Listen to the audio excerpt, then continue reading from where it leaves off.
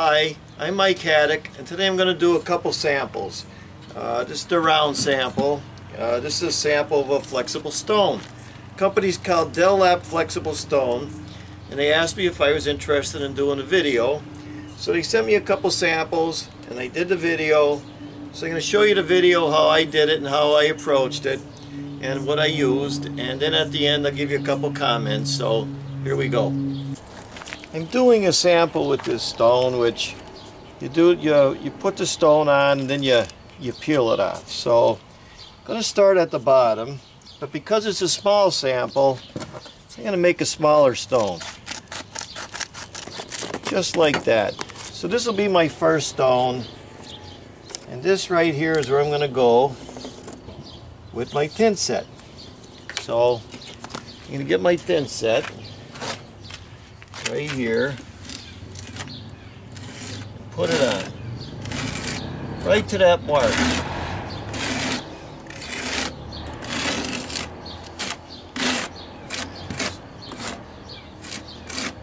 So I got my thin set and I put it on right to that mark and then I stick it on just like you're doing tile. Now my next stone is going to go up here because that's the look I want. I want smaller pieces right there. So same thing, I get my thin set, I put it on.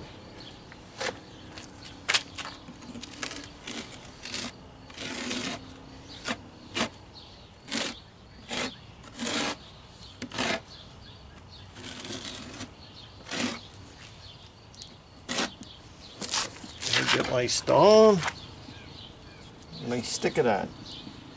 I'm really concerned about my joints. I want my joints to look a little different.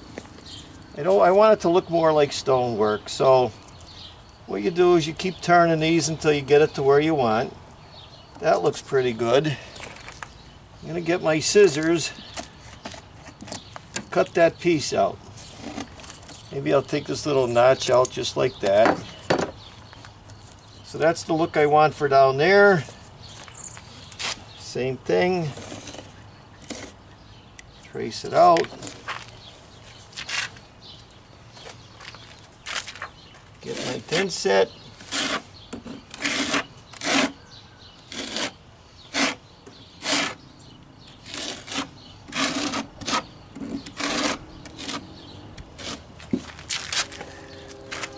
And I'm going to put it on. Just like that. Now I'm continuing on and the stone comes in different sizes but I don't like this because it's going to be too long. I want to break this line so I find this stone but I'm going to cut this off right there so I'll be a little happier with that. This is just a pair of shears. You could actually use scissors if you want. That works good. That's the way my stone is going to look there. So,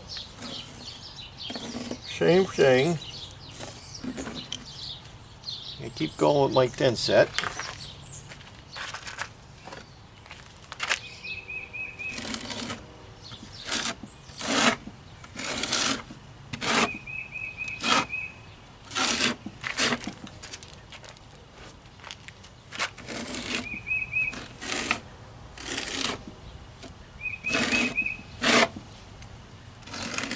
And the thing is, you see how it gets messy, and real stone it gets messy.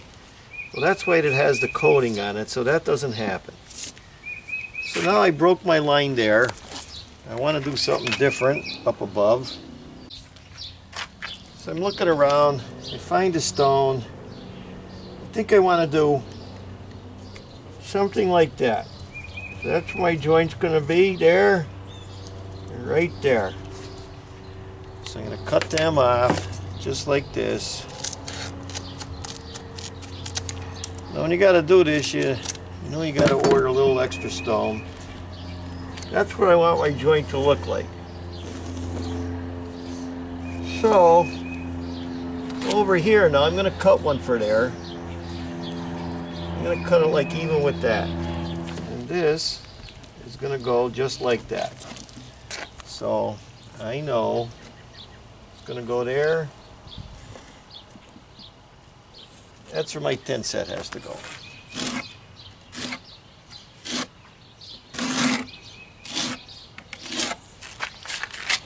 And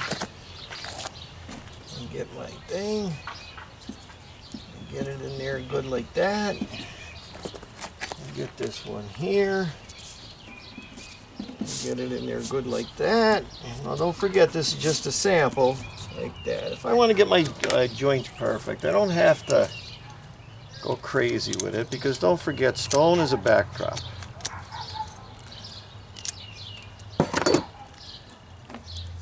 That's okay. I'm happy with that, so now I'm going to put that in. Remember I told you don't worry too much about making a mess. It's going to happen. That's going to go in there just like that. I put the piece on just like this. I'm happy with my joints. Put that right in there like that. Now to make it look real, I'm just going to get a rubber glove and just put it in there just like if you're doing real stone. See that? You go right to the edges. Just with your finger. You can, you can afford to be sloppy because this whole thing peels right off. I'm just getting a regular uh, sponge like this and I'm going over the sides because I want it to look like a real cement joint and when you do a real cement joint on a real stone job that's basically what it looks like. So what I'm doing too is I'm just going over my joints. If I see any bad joints I just touch it up a little bit. Back the next day we're looking at our joints and if you ever use thin set you'll notice once in a while that the joints get a little crack in them.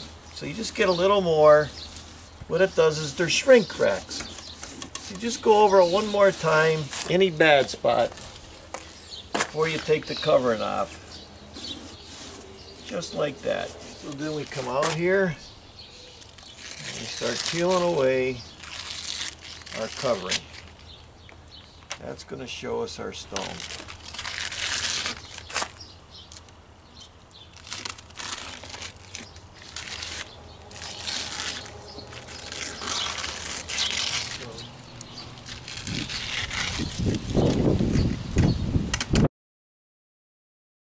Now with this product, we're going to go around a round sample.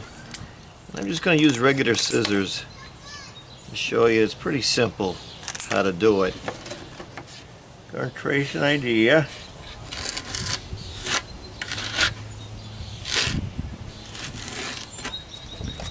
And because I'm going around, I'm gonna get myself a heat gun. That makes it bend there easier.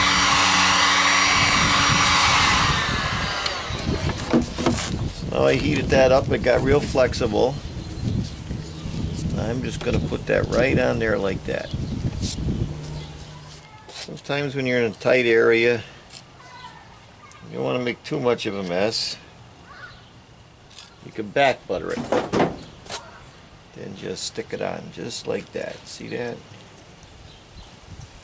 I'm doing the same thing before I go too far with my joints.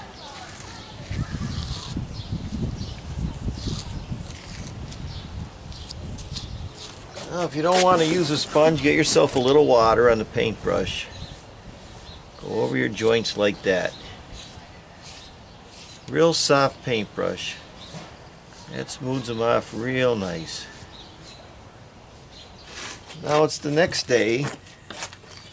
I'm looking, I'm just checking my joints. So if I see anything bad, I just mixed up a little uh, thin set and go over them again. Just the bad spots.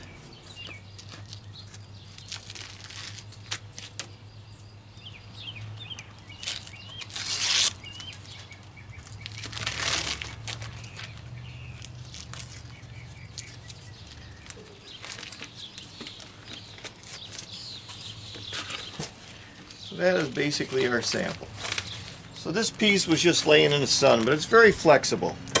If you wanted to go around corners with it like that, a sharp corner, you could do it. And if you wanted to go and say into an inside corner, like that, you could do that. And if you want to stretch the imagination, it's very flexible kind of stone. It's a good backdrop. So it's just something different to think about. So a little more about the product. This is uh, the thin set that I use, VersaBond Professional Thin Set Mortar. It could come in a different color. I used white. And right here is the box that uh, the product came in. Huh? And it's just flexible. It comes in panels. And just pick it up like that. And I just used very uh, small thin set trowels. So that's it. That's the end of the video. These are my samples right here. And I'm going to leave the company's name and description in the description box. So thanks for watching.